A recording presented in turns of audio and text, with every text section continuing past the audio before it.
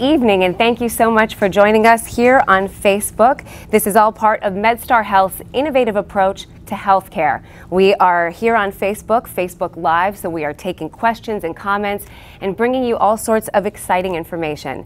I'm your host. My name is Megan Pringle. I work for WBAL, and I'm in a pretty remarkable place, a place I've never been before. This is the Transradial Lounge, and we're going to explain what that's all about. We're going to get a tour of the place and tell you how it makes things different for the patient and the doctor here at Union Memorial. So we have a remarkable night ahead of us, and I want to introduce you to our panelists because they're three pretty impressive doctors.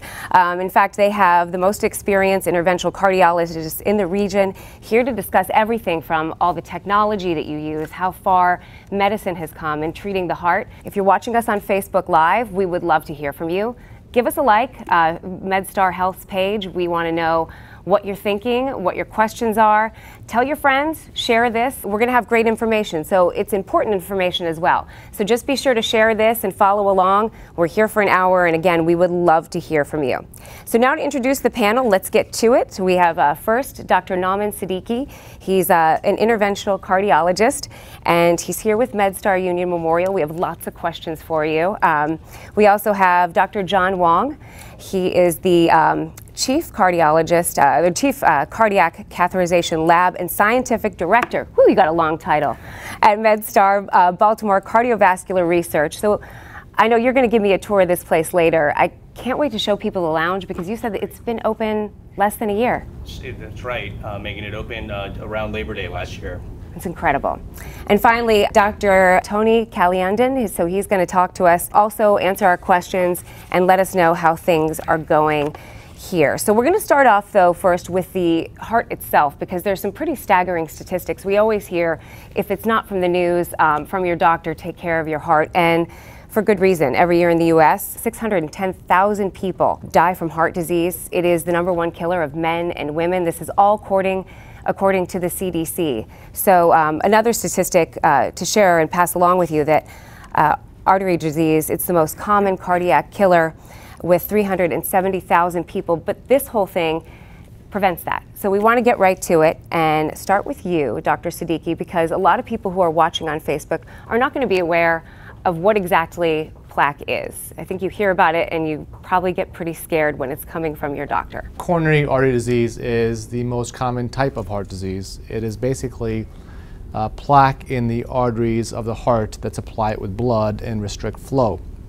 it can lead to uh, chest discomfort, shortness of breath, and even heart attacks. Our job as interventional cardiologists is to perform a cardiac catheterization to detect these blockages and then treat them in a safe and timely fashion. So how do you do that? The historic way to do, to do that would be to do a cardiac catheterization through the groin, and that's been done safely to some degree for a long period of time, but our new way of doing that is through the transradial approach which is where we go through the wrist and do the entire procedure through the wrist. That way we can detect these blockages and fix them in any way, shape, or form um, uh, that way. That's what I always thought you did was go through the femoral artery, and I've heard that that is painstaking. Well, um, you know, it's what we were, some of us were taught back in the day, and that's how things were done because that's how we were taught.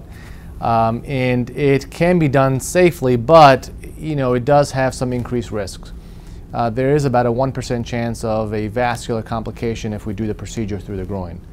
And that doesn't sound like a lot, but you don't want to be that 1%. So, um, you know, we have back in 2010 transitioned to the transradial approach, which essentially eliminates most of, if not all, vascular complications from the equation. I would also imagine the recovery time is a lot different. If we do the procedure through the femoral approach, uh, there's at least four to six hours of bed rest after the procedure. From the transradial approach, there's minimal to no bed rest. You're also able to leave the hospital quicker, and in some cases, even leave, leave the hospital the same day after a stent procedure. Dr. Wang, I have to imagine that's a huge advantage for you to discuss with patients. It's really huge. I mean, the transradial approach has really transformed the way we do heart catheterizations. And a common question people would say after they hear about this and the advantages is why doesn't everybody do it? And if it's so much better, why doesn't everyone do it? And part of it is that it's a it's a big learning curve. It's much harder to perform this procedure and to learn this. And doing the catheterization from the groin that Dr. Siddiqui described is something we're so comfortable with and everyone's been trained on. But learning from the radial approach um, is almost like starting from scratch. And it is very, very challenging. And so that's really been the barrier. But there are a lot of advantages to our patients. We described a couple, which is the comfort. Patients say oftentimes when they have the heart catheterization from the leg that the worst part is laying down afterwards for several hours. That's especially the case if you have back problems or breathing problems. And so the nice thing about the wrist from a patient comfort standpoint is that you can sit up in a chair with a comfortable wristband on. You don't have to lay flat. Um, and the safety, I think we really need to focus in on the safety because 1% major vascular complication rate is not a large number, but if you do thousands of procedures a year, that's a large number. And the major vascular complication rate with transradial cardiac catheterizations is zero. It's not 0.1, it's zero. It's, it's so that is what is really a benefit to our patients. I believe we actually have a video of the procedure that we can show people, which might also help explain it because it, it does seem so wild if you are used to hearing about, you know, going through the thigh and now you're talking about going through the wrist. So if we can take a look at that, that would sure. be great. So this gentleman's arm is extended out and it's on a comfortable roll. Okay? Next thing is I'm going to apply a little bit of numbing medicine, a little bit of lidocaine, and that's just to numb up the spot where his blood vessel is. I take my small needle, go through the blood vessel, and then come back out, pass this wire up. And sometimes it's a little tricky. Take a scalpel and make a tiny little nick here in the skin just to make it easier for us to pass our sheath up. And this is a hydrophilic sheath that has a coating on the outside that makes it very slippery, so when it goes into the wrist, it actually doesn't hurt. And it's just as important for it to go in smoothly as it is for it to come out smoothly. You're welcome. Thank you. You're welcome. Then we wet it, make it a little bit slicker, and pass it up into the wrist. Once we're in, we actually inject a little what we call radial cocktail that has a combination of some medicines, including heparin, which is a blood thinner, uh, nitroglycerin, which helps dilate the blood vessel, and nicardipine, which also prevents the spasm in this arm. When I'm done, I'm going to just pull up here and take the tape off of the wrist, and then we'll see what we do is we end up putting his arm into the arm board and now when I stand and do my procedure it's as if I'm doing it from the groin but I'm actually doing it from the radial artery. So now the rest of the procedure is very similar. So here we are, we're passing up our catheter.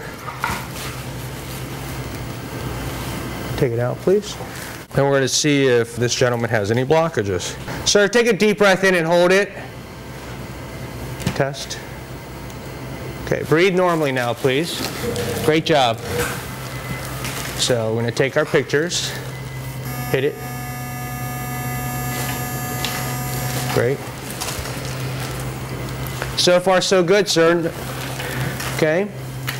We're taking pictures. I hope you're comfortable. Okay. Looks really good, right? Yes, sir. Beautiful blood vessels. And usually at this point, uh, patients don't realize we've already started, but we're almost finished the procedure. We're actually finishing up pictures of the left side, and now we're going to get ready to take pictures of the right side. So we're going to exchange this catheter out over a wire. Going in with our catheter to engage the right coronary artery. Okay, pull it in. There we go. Back it out. Let's take a picture. Ready? Ready? Inject.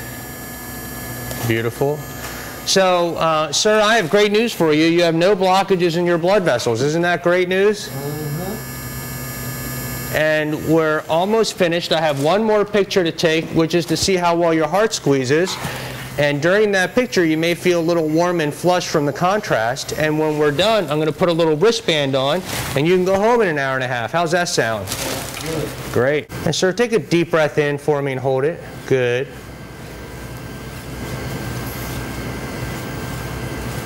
Good. Okay, back it out.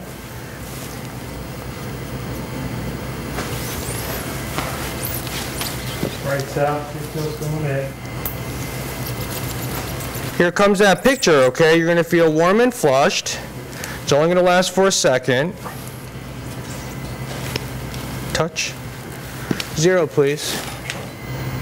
EDP of 26. Ready? Inject. Great, perfect. Well, your heart is nice and strong. You have absolutely no blockages in your blood vessels, so we're all done, okay? Here, You can see we did the whole procedure from this small catheter in the wrist. There's nothing to really clean up. There's no bleeding around it, but we do wipe it off. And then I put this band, this comfortable wristband on that actually has an air diaphragm that inflates and holds pressure, and it's a Velcro strap. It's called a transradial band or TR band. And we put it on. It's like a wristband, a little watch band. It doesn't hurt. It's nice and comfortable. We inflate this, the air diaphragm, with this syringe. We slowly take out the sheath and then reduce the amount of air in there. And you can see that the whole procedure was done this way, through the wrist. And this stays on for about 90 minutes, an hour and a half, and then patients can go home after that. Yeah, Megan, people are surprised. I mean, this video was edited, so it's about five minutes long, but the actual procedure, when it was unedited, was about seven and a half minutes long. So most of the patients that we do can't believe we're actually done the procedure. Oftentimes, they don't even realize we start when we tell them we're done the procedure. And some of us here, I think, were really surprised just hearing you communicate. That's incredible. Yeah, patients are in a twilight. They're um, they're a little bit sleepy. They're certainly not uncomfortable, but they're able to follow directions, as you could tell. Speaking of patients, we have one that we want to bring in. Um, his name is uh, Dov- uh, Harvey Likely. Hi, Harvey, hi. Thanks for coming in. Thank you. Come on over here, sir. I'm Megan.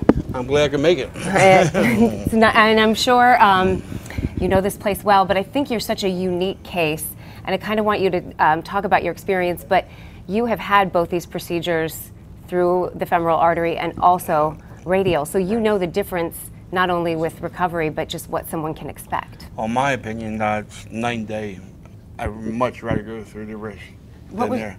Well, first of all, um, it takes nine to ten hours just to recoup when you go through the groin. Yeah, I can hold this for you if you And want. um, I'm, I'm a big person. I like to eat, and and when you gotta lay there all that time, and then after you lay there nine ten hours, and it bursts, Mm. and then they get a nurse to come in. She's got pressure on it for another hour or so. She's shaking to death, and and the recovery time is so much. Here, hour and a half, two hours, I'm done. I'm up. As long as I don't use my left arm, I can wiggle around. I can sleep. I can, it's like night and day. I mean, there's no comparison to me.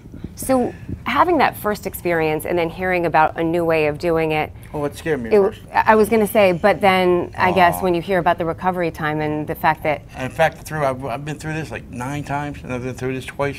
wow. I, there's no, I, I, I wish they did this a long time ago. But it, it's got to be, I guess, um, a concern for a patient to hear that. So it's nice to hear from you, who Right. has had Uh, both, can talk yeah, about Thank it. God, yeah. But like I said, um, anybody, if they give you a choice, uh, in my opinion, there is no choice. It's a lot faster healing time. When you try to lay down at nighttime, if they go through the groin, you can't move. They constantly got to come and check on you.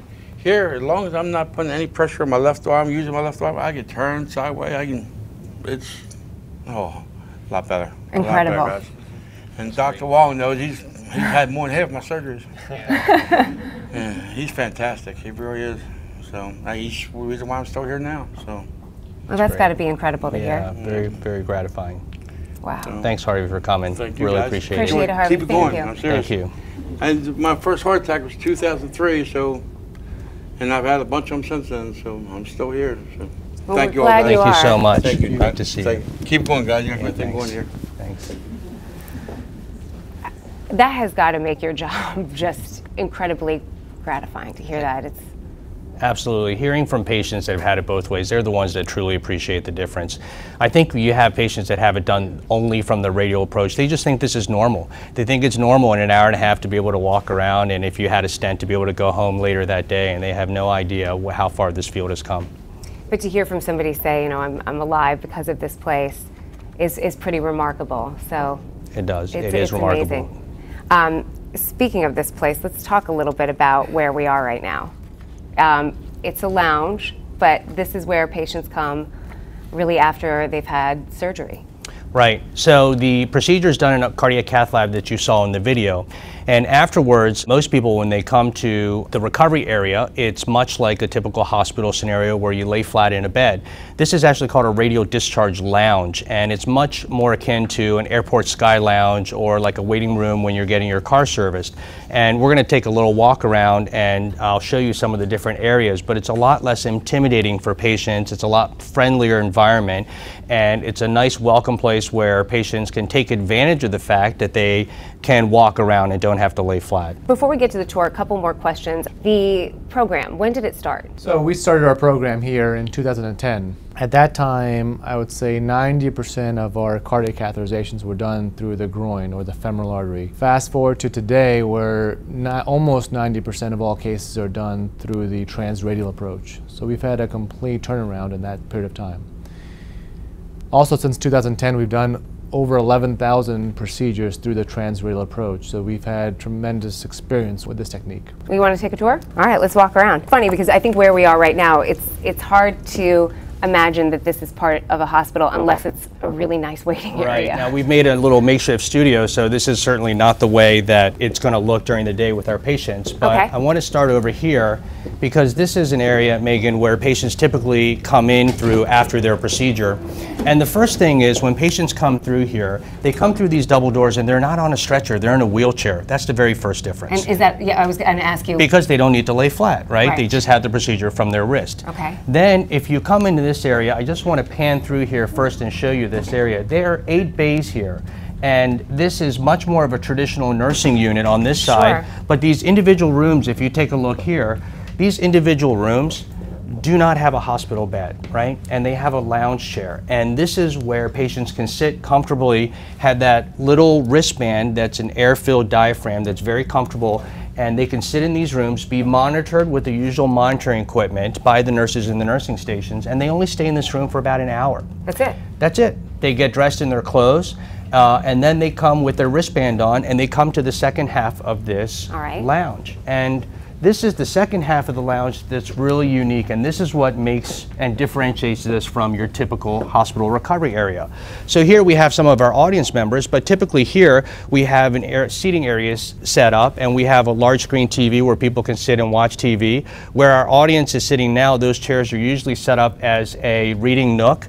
There are charging stations for cell phones and iPads and laptops, and then over here on this side is a self-serve cafe where where you can come and get something to Something to drink eat, and yeah. get something to eat, and uh, it's much more like a waiting room for, like I said, where you're getting your car serviced or even in an airport That is exactly than it it is like feels a hospital. Which has got to be nice for the patient and for their family to come here and see something that's a little more warm. Absolutely. And this final room, I just want to point out, is our resource center. And the nice thing is that patients are often curious about what their heart catheterization looked like. And this is a room where we can have their patients and the family members be in there, and the physician can go through what the angiogram looked like and where we put the stent and draw them a diagram, and they can actually see it on their video.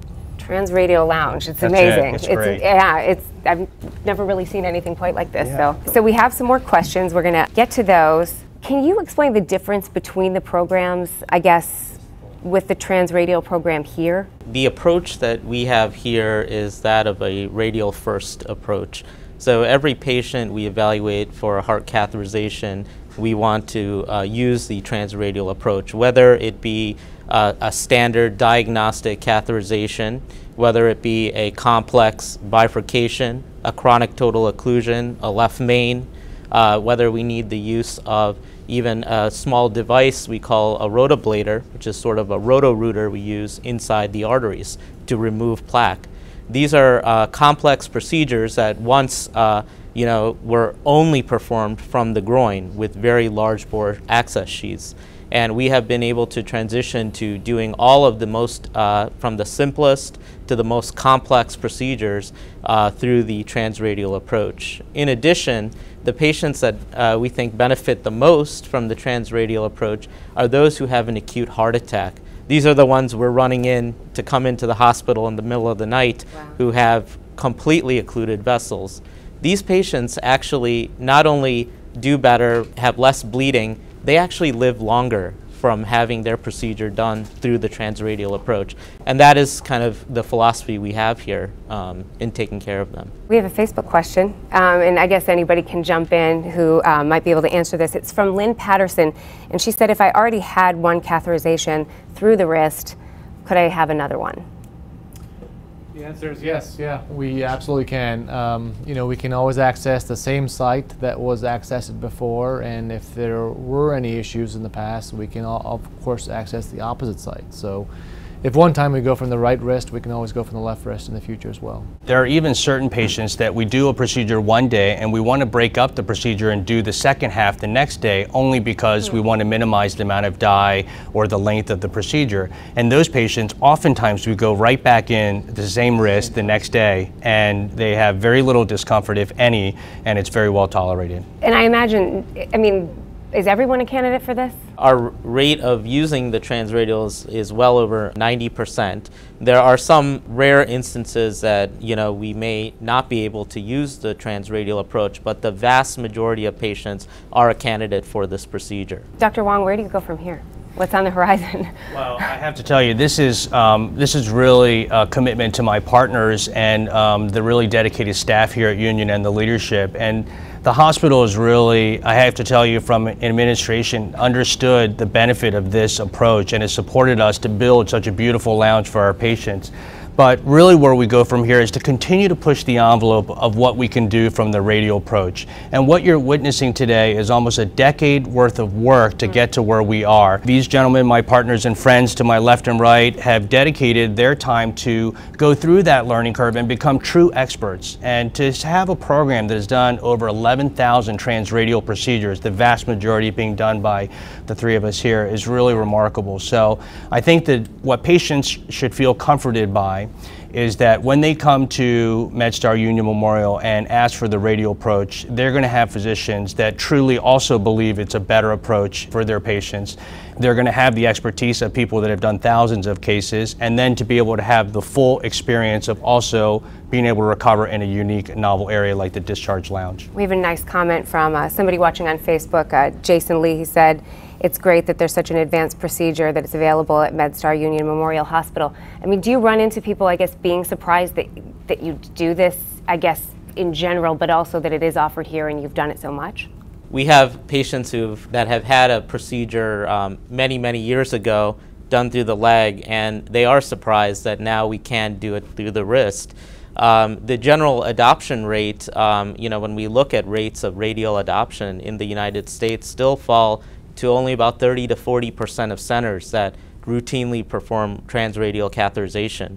When we look at our colleagues across the, uh, um, across the ocean, Europe and Asia, those rates are as high as uh, 90 percent. So um, we, um, we have been um, kind of early adopters of this and we believe in the safety of this uh, approach and uh, we really do uh, believe this benefits our patients. We often have people who've had a procedure done maybe 10, 15 years ago through the groin approach, and they come in with a lot of anxiety because they may not have had a good experience in the distant past. And we do the procedure through the transradial approach, and the comment is always that you're done already. You know what I mean? Because it's it's so different than what they experienced 10 years ago. So it happens a lot, actually. Traditionally, after having a stent procedure, if you do have a blockage from the groin, patients typically had to spend the night in the hospital. And the reason was is the fear that you could have bleeding at night if you went home that same day. But one of the wonderful uh, unintended benefits of the radial approach is that we're able to safely send uh, the vast majority of patients who've had a stent procedure home the same day because the bleeding risk is virtually zero. So um, we feel that that is a tremendous benefit. And for patients to say, wow, last time I had a stent from the groin, I had to lay flat for six to eight hours and spend the night. Now I'm going home in a few hours and I get to sleep in my own bed. So that's another big benefit. I imagine you have to do a lot of hand holding with that to let people know that you will be okay to go home, especially if they've had the procedure before and they have that anxiety. We sort of heard that from Harvey saying that he was, you know, very nervous to have this a second time. So I imagine that there has to be a lot of education as well. There is, but I think the proof is in their experience. And after they have the wristband taken off and they're walking around in the radial lounge, they realize that if they spent the night, it would really be for no medical reason. So we can safely send patients home. We have been really working with other thought leaders throughout the country in actually developing uh, an approach and protocol to allowing patients to go home the same day. So. Can we answer a quick question from another Facebook viewer? Um, Sarah wrote in and she asked, when would be uh, when would a patient not be a good candidate? Is there such a thing when it comes to this procedure? There are some patients, and again, you've heard that we are over 90%, but it's not 100%. There are some patients where the radial artery is tiny and so small that the catheter wouldn't fit through there. That's rare. There are patients that have had dialysis fistulas in that arm, and so their arm is being used for them to get dialysis, and we certainly don't want to jeopardize that. For the most part, um, 90 over 90% of patients are a candidate for this. And there are some anatomic variations where people have some tortuosity in the blood vessels, either in the shoulder or down in the forearm, that we can't get up on that side. But being true radialists and believing in that approach, when we can't go on the right, we'll go on the left. So um, this is something else that differentiates uh, our program. I have to say that like, hearing all this and seeing this place, makes these just the, the, all the stats that we were sharing in the beginning a lot less scary. I mean, this is such a remarkable place, and it's amazing what you can do. So, thank you guys very much. Thank you. Thank you. We want to um, bring Brad Chambers up right now. Boss man. Oh, stop, stop. Thank you so much. Uh, good evening, everyone. And uh, behalf of everyone here at MedStar Union Memorial Hospital, thank you for being here tonight. Uh, special thanks to Megan and our wonderful team from WBAL, but more importantly, these three distinguished physicians who are up here tonight.